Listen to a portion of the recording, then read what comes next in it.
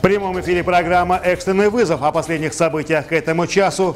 Я Шакир Умаров. Здравствуйте.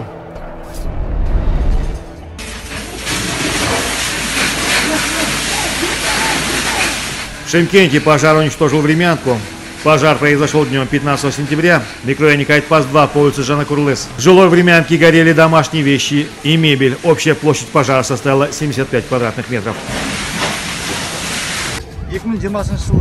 15 сентября в 16.47 минут поступило сообщение о пожаре во дворе жилого дома, расположенного по адресу город Шимкент, микрорайон Кайтпас-2, улица Жана Курлыс. Были направлены две единицы пожарной техники, 16 человек личного состава первой противопожарной части, также сотрудники Центра медицины катастроф.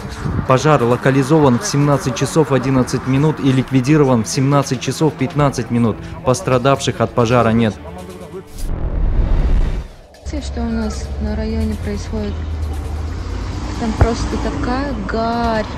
Там даже ехать невозможно, ничего не видно. И это все на дендропарке. Видите даже? Ничего. 136 шпал детской железной дороги повреждены в результате пожара. Сначала загорелся сухостой, а после пожар перекинулся на шпалы. ЧП произошло 16 сентября днем. В 2 часа дня на пульт 101 поступило сообщение, что в микрорайоне Нурсад Альфа-Арабийского района по проспекту Бейдвикби вдоль дороги горит сухая трава площадью в 1 гектар, а также дымом объято полотно детской железной дороги. В борьбе с огнем были задействованы 23 человек личного состава и 4 единицы техники службы пожаротушения. Пожар ликвидирован 15 часов 8 минут. Жертв и пострадавших нет, причина устанавливается. Притон для занятия проституцией ликвидировали полицейские в Туркестанской области. В рамках оперативно-профилактического мероприятия «Стоп-трафик» сотрудники полиции Сайрамского районного управления полиции выявили факт сводничества и ликвидировали притон одной из зон отдыха районного центра в Селях-Сукен. При проверке оперативники задержали по подозрению в сводничестве жительницу Сайрамского района. Также были задержаны четыре женщины легкого поведения. В качестве вещественных доказательств изъяты деньги. Стражи порядка доставили женщин в отдел полиции для выяснения всех обстоятельств. Все они поставлены на профилактический учет.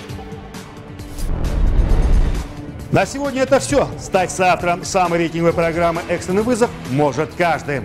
Вы очевидец громкого происшествия, скандального или криминального инцидента. Вы столкнулись с произволом или равнодушием полицейских.